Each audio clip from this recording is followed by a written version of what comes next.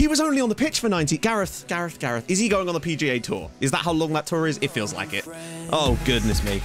Hi, guys, and welcome back to Tottenham Hotspur. So, uh, if you're enjoying this so far, do leave a like on the video. That really does help out the channel, helps new people find it, and uh, it's kind of important at this time of year. So, um, today we're going to be doing four matches, all of which you're going to see. I think that's kind of cool. I like showing this sort of stuff more, particularly as we can all learn together probably what not to do. Let me be an example to you, but in reverse. We also had our um, EFL Cup draw, which is going to be Swindon Town, so that should, and it's at home too again, so it should give us an opportunity to rotate squad, and that's very important right now. Something we're going to be doing today against Lincoln is that uh, we're going to be rotating the squad around for this because we've got a massive game against Burnley at the weekend. Burnley, who you may think, okay, but it's Burnley. Yeah, they nearly created a, a three. Uh, they nearly had an XG of nearly three in their first match. Now they did still lose. So perhaps that doesn't mean anything, but I'm concerned if they're going to do that against us because I feel like we might not be able to quite handle that. So, tactical meeting, reduce defend duties. I think I'm just going to stick with things as I am. Um, I am actually going to listen to the assistant here, although I haven't actually seen quite where he's going to put this in. But we'll do it anyway, and we can adjust it on the fly. Workboard to the box, again, something we'll have a look at during the game. It's going to be important to keep, even against weaker sides, to do tactical tweaks, because I think what it can do is kind of give you a situation where, in a perfect scenario of the match, what you could get out of your tactic. And I think that's why these games still have a an importance, and also getting through. So, what does he want to do? Okay, so Harry Kane isn't start. Then again, we really did struggle to fill out the the squad in terms of get everybody in, and as a result, we had to leave Vinicius out because there just wasn't room for people, and it's a real problem. So Harry Kane may actually have to start here, which is a frustrating one, but we'll rest him out for the Swindon game. Bergwijn's fresh enough to play there, I would say. Um, Lamella, Lamela can still play because Bale will be back soon, so we'll be able to rotate that around a little bit. Have Sissoko there and then Winks. Uh, Toby is not playing right. Oh, wow injuries have really cost us at the moment, it would seem. So as much as Japhet Tanganga is not ideal for that role, we'll let him do it for now. And I'm also going to start Ben Davies on the left-hand side, just to rest a few players out, give some people a bit of a rest. Some people will have to just play, but we'll keep the others on the bench. This might actually be a really cool thing, this feature. If I tick next match only, will it then revert back to my old squad lineup for the next match. I want to see if this works because that's a really good idea for when rotating teams around because it's a bugger sometimes to do that like meticulously without wasting too much time. Going to put Ogadina on the bench here as well because it will give us a bit of backup for Tanganga if we should need it, although I think he's more of a centre back. Yeah, eh, that could be said. Still not at all confident in our um, set piece instructions yet. But we'll work on that over time when we see what works from corners. We'll just try a few different things out. I lucked out massively on FM20, but the first thing I did on corners literally worked perfectly, and I used it the entire season. Leave them in no doubt. Okay, the, the players still aren't having that yet. Make a difference. Okay, Ben, good. You got me, bruv. That's better. Let's let's hands on hips the last one. Way Harry Kane liked a bit of that. He likes a bit of sass manager. Love it. Right, let's go. I think all we really want out of this match is a solid, comfortable victory. Get a few players some match fitness back that might not have started before. Uh, allow a few players like Son and whatnot, who generally speaking, you know, exert a lot of energy. Let them have a little bit of a rest as well. Uh, shame that Harry Kane has to start here. Really, I would have preferred to have allowed someone like Carlos Vinicius to play, but I think we might get another registration place later anyway. Bergwijn into the box, pulls it back for Kane, and Lamela's straight through. Inside a minute, Spurs have the lead. Really nice football again. This is what I mean about playing through the centre with those inside forwards. It creates that sort of front three that Spurs actually seem to play with quite a lot because they're bowling towards it, getting inside the fullbacks, and then you just sort of seem to be clustering in this middle area. Lovely ball through from Harry Kane. That 18 passing has really been showing off there, and it just allows the fullbacks when we do get forward loads and loads of space if we hold the ball up a little bit more. Great result. Very good start for us. I'm not sure what I'd expect on scoreline. 4 or 5 nil would probably be the like, I would consider a 4 or 5 nil result a decent one for us, I'd say. Lamela, can he cut back inside? He's going to go all the way through and finds the shot from a tight angle. No one really there to support him. Bergwijn, loads of space if he can find Lamela. Surely he has to. Oh, goes for Lo Celso. Winks. Lamela. Oh, nice. Tanganga with the shot. Maybe overplayed it a little bit there. Tanganga's ball in, and there he is, Harry Kane. His second goal of the season in all competitions were two goals to the good here at Lincoln. What I might do later in the second half is just get Harry Kane off if we're like three or four nil up, and just put someone, even if they're slightly out of position, just to sort of fill the slot, frankly. I thought we'd overplayed it a little bit to begin with, but a lovely ball in from Tanganga. Kane rising highest in between the two defenders. I love that animation. Oh, God. I'm enjoying the crap out of this new match engine as it deflects off the post. I, it feels so, so, so much better. And SI and the devs deserve humongous credit for the incredible job they've done. And this is only the beta. Think about that. It's easily the best beta I've ever played for FM. Um, I've not, I've only had one bug so far as Lamela gets to the back post, and it is 3 0 now. Sorry, I thought I'd take a minute there just to discuss that as Lamela grabs his second goal of the night as well. Yeah, so it's sort of showing off what we want to be doing. pulling all of our um, players so narrow allows lots of space for the fullbacks to get those balls in, and it allows us a lot of um, almost like a, a, central overload a lot of the time, and it seems to work. I think we're headed towards that 4 or 5 nil quite comfortably as Tanganga's down the wing again, and it's Kane again. Oh, wow, he didn't take the shot on. Bergwijn.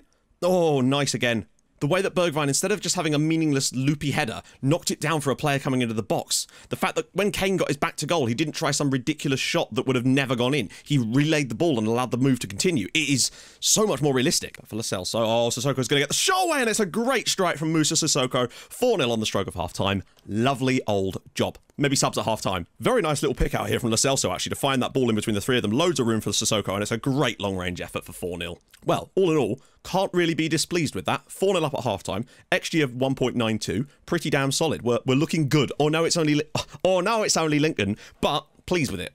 Lamela, Moura, and Bergwijn. Tight angle and a great save from Lane. Good stuff. Lamela again. You see the creeping fullback there of Tanganga flying into that space. He's done excellently tonight. Great ball. And could ping it, and he's hit the bar, and Lamela on the rebound. That's a bit fortunate, but a lovely strike from Tangi and Ndombele. And there is a hat trick for Erik Lamela. You love to see it. Eric the Apple it wasn't the poison apple this time. It was a very, very sexy apple. I don't know where this analogy is going. What a hit this is from Ndombele. Was that first time? Oh, what a strike. It's 5-0. Lamela's popped it in. That's good.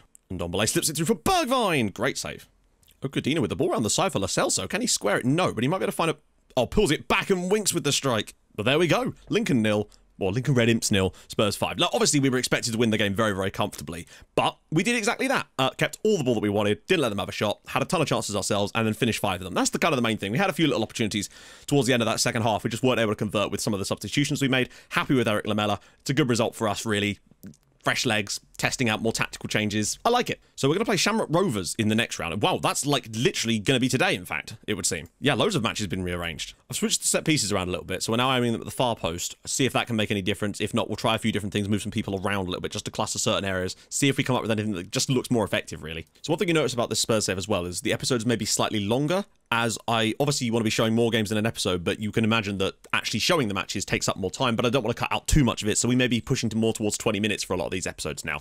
And I hope you guys are okay with that. It will resume back to the normal length with Bolton, probably. I really like the fact that it does actually present the uh, analyst report in the news article, and you can see the type of football they want to play in the graphic, and it's way easier to just get an idea of what they want to do. Now, Burnley says Route 1. Not a huge surprise. The thing is, though, as much as they do play Route 1, they haven't actually got the, so much pace in behind, because Chris Wood is not the quickest of strikers if he is going to start up front for Burnley. So we could probably get away with our current system still and just have to hope that our centre backs can handle those aerial balls. Interesting. So I guess that only works for tactics then. I think in order to do this bit here, it has to be on this screen. Although the tire marking thing could be something we could move to during the match.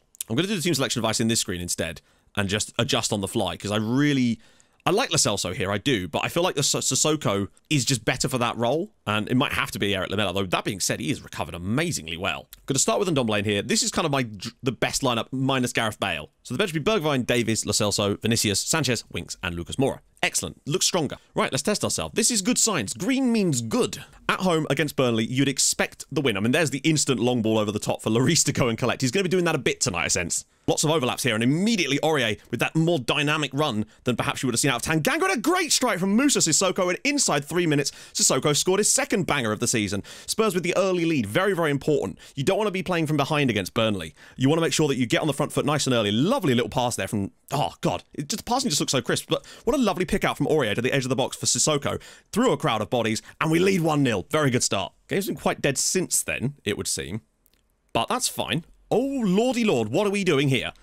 Gudmundsson, and it's a good save for Lloris. What on earth was that from us? That was just really bad from us in general. Lamela Dom- and Dombe. Lots of space on the edge of the box again for Sissoko, and this time he couldn't quite replicate the form. Aurier again. Dele Alli and a good save from Nick Pope. There's a lot of space in that middle area. Potentially a breakaway for Burnley here. Long ball should be easily dealt with, though, by Eric Dier. Good stuff. And Sissoko again in space. Out for Aurier. That same player's working a lot so far. Aurier's delivery and Lamela's block. Son's just going to keep running with it. They are not stopping. Oh, what a goal! Bloody hell. Tottenham 2, Burnley nil.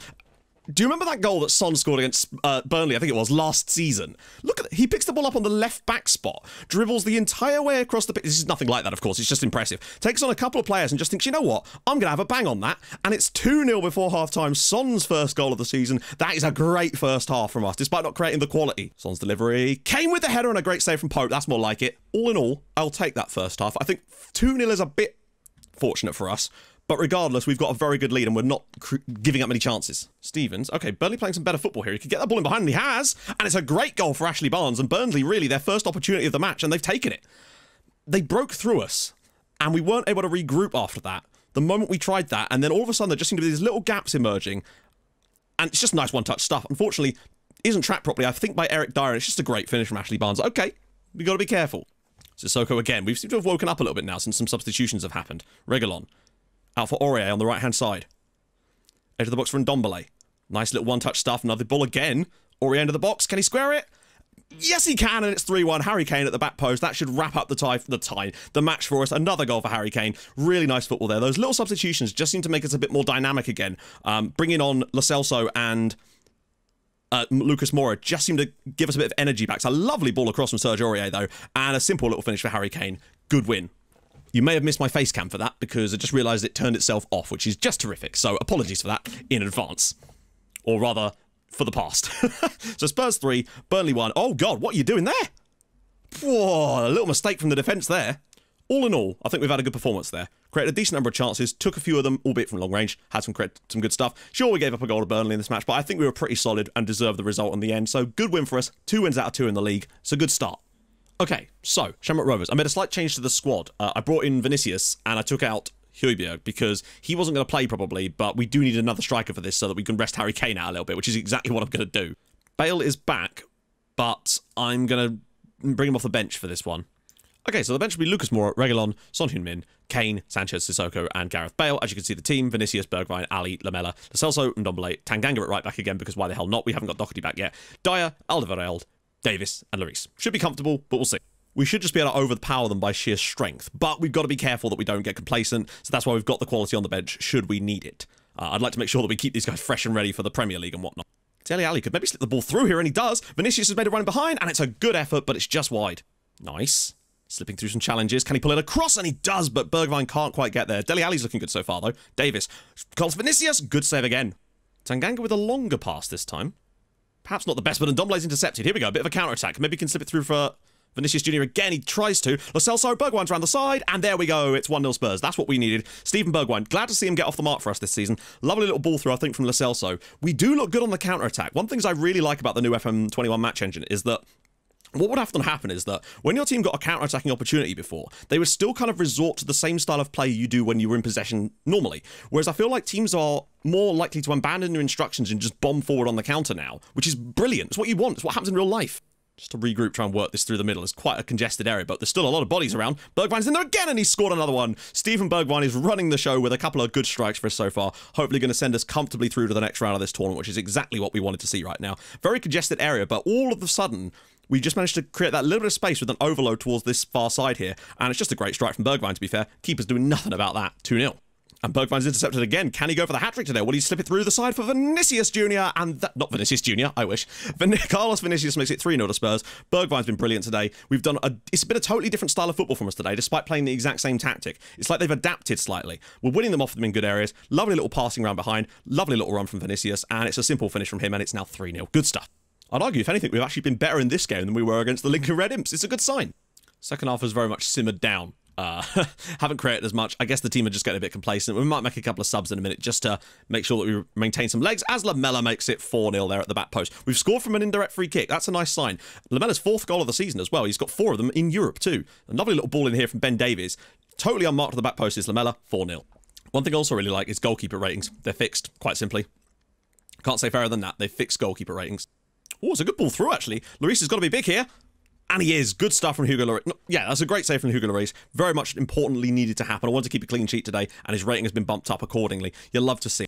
Well, all in all, pretty straightforward. Second half, we kind of simmered off a little bit, but we still won the match 4 0 in the end, and that's kind of what matters really, the grand scheme of things. Right, Swindon Town of the Cup, probably going to continue the rotation stuff because we've got City soon. So, the City game has now been pushed back into the middle of October as a result of us getting through to the next round of the Europa League. So, this will be the final game of today's video because it is September as a whole. Uh, we'll see how we do. It's, there's a lot of fixtures coming up, and I'm starting to worry about the length of this uh, series potentially at this rate. They want us to switch things around, but honestly, I'm tempted to go with the exact same lineup as the last game, except maybe starting Gareth Bale to get some fitness levels back, and possibly starting Harry Winks in the midfield instead. Uh, actually, maybe doing Sissoko as well. it says the same, same lineup, he says, and then immediately changes it. Doherty's still not ready. Keep the bench the same, though. Can't remember where. I don't think the board are particularly bothered about this tournament either. So as a result of that, I won't be too bothered if we do get knocked out of it. Potentially, as we've got the lead, I think that's going to be offside, though. Yes, I think Dele Alli is going to be ruled offside there, sadly. We're just going to keep rotating teams around for this tournament and see how far we get, basically, by playing different players. Might even just start bringing in some of the other 23s, to be fair. Tanganga, Sissoko, lovely. This time, instead of being a long ranger, he's got into the box and scored his third goal of the season already. Moussa Sissoko is doing mad things for us so far, and we are about to potentially be on the verge of getting yet another win. We've actually not done anything except win so far, which is a very good sign considering I'm still very unsure about us tactically at the moment, but we're getting in the right direction. That's the main thing. There's a test for you. Gareth, 19 minutes into him starting a game finally as we nursed him back in, didn't play him too much, gave him a substitute appearance for 10 minutes, and now he's hurt himself again. Gareth, uh, I assume he's just got around a golf book later. Lovely work. Ben Davies now. Lots of space for him. Can he find the right pass though? And he does, and Bergwijn, good save. So half time, fairly comfortable from us. We're not giving Swindon anything. We are creating a few little things. Only lead by a goal to nil. Maybe a little unlucky. Nah, I'd say it's probably fair actually. I would quite like a second goal just to settle the nerves in this one a little bit to make sure that we're going to just sort of see this game out relatively comfortably. They don't look threatening, but it only takes one chance, unfortunately. Sissoko's just driving into that little wide area there. Maybe could whip a one in. And Vinicius is there, and now it's 2 0 Tottenham. That's the goal we needed. Vinicius has done a good job covering for Harry Kane at the moment while we make sure that Kane isn't getting overly played, uh, particularly in games where we could avoid using him. Because as good as he is, you want to make sure that you kind of wrap him in cotton wool from time to time to make sure that you can use him for the important ones. Good header from, from Vinicius. It's 2 2 0. Tanganga. Lucas Moura. Can he flip it around? He might win a penalty. Great ball in. Oh, it is a penalty. In fact, it might well be a penalty. Oh no, it's going to be the whole was it in the box, which means it never is. Unless they've changed that for FM21. Go on. Do me something cool. Okay, so that part of the game is still annoyingly in there, which is a shame. Oh, he scored from the free kick anyway. Okay, well we'll take that. But you know how it used to happen on FM20, where if there was a penalty give, if there was a decision on the edge of the box, it was always outside the box, basically, and that seems to be still remaining. But another goal for Moussa Sissoko, four for the year now. Good start.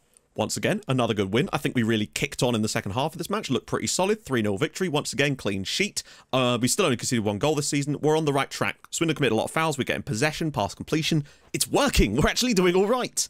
Gareth Bale has a hip injury a completely different injury. It's just a brand new, completely different injury. Two to five months out. He was only on the pitch for 90. Gareth, Gareth, Gareth. Is he going on the PGA Tour? Is that how long that tour is? It feels like it. Oh, goodness me. I just told him that his playing time would remain the same and promised him when he returned to the team. And he's disappointed because he's not interested in my sympathy.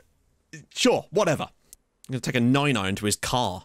So, there we have it. We've started pretty strongly. Uh, shaky first game against Leicester, obviously, in the last video, but since then, we've scored a minimum of three goals in every single match so far. Now, of course, the quality of opposition is lower. We sure, we know that. But still very, very pleased with our start, quite frankly. We've only conceded one goal so far, and we're scoring for fun in places, and that's definitely a good thing to be doing no matter who you're playing. So, next episode, it's not going to be all of these, because that would be way too much to cram into one. So we may do four or three. Uh, I'm not entirely sure just yet. We'll figure it out, because there's probably going to be more matches in there as well. So, if you've enjoyed this, and I hope you have, drop a like on the video. That would tremendous. If you're new to the channel, uh, subscribe. That'd be awesome as well. I stream on Twitch on Tuesdays and Thursdays and usually at the weekends as well. So go follow there too. I'll join you guys tomorrow as we will finally get into a bit more of a run of Premier League matches, you hope. But we are still two for two in the League Two, which is a good start, and that was a tough sentence to say. So I'll see you guys soon. Thank you so much for watching. Hold your gun. Capybara. Bye bye.